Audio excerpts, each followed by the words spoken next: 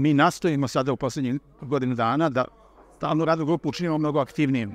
I zbog toga više to nisu samo 3-4 sastanka godišnje, nego e, imamo planirane na svaki mesec dana sastanke, plus ovih 3-4 glavna, važna, strateška, e, gde upravo želimo da obiđemo sve gradove u Srbiji, gde god postoji mala tendencija povećanja, gde god uočimo neku određenu vrstu anomalije, neko povećanje e, ili neku specifičnost, da idemo i da razgovaramo o lokalnim problemima. I zaista se pokazalo kao ispravno je, jer mi, mi u, u Beogradu na sastancima ne vidimo um, specifičnosti Subotice, ne vidimo koliko je teško izveštavanje o migrantskoj krizi, tamo je kod nas to nevidljivo, potpuno fotisnuto, a novi naše kolege novi ne smeju u prvu šumu da zađu da bi videli šta se, šta se zaista događa i tako dalje. Znači, na svakom mestu smo imali ovaj, uh, uh, saznali smo nešto novo.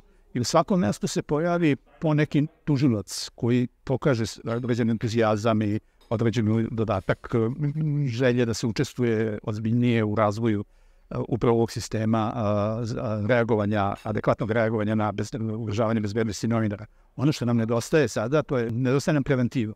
Nedostaje nam ono o čemu sam govorio. Mi moramo početi da zaustavljamo a, a, napade na novinare na početku. Dakle, onog trenutka da se formira ovaj koncept, kada neko napravi a, taj uradak, da dezinformaciju ili, ili pokrene taj mehanizam, da se tu pojavi reagovanje. To je, naravno, naše krivično zakonodavstvo, um, taj deo upućuje na privatne tužbe.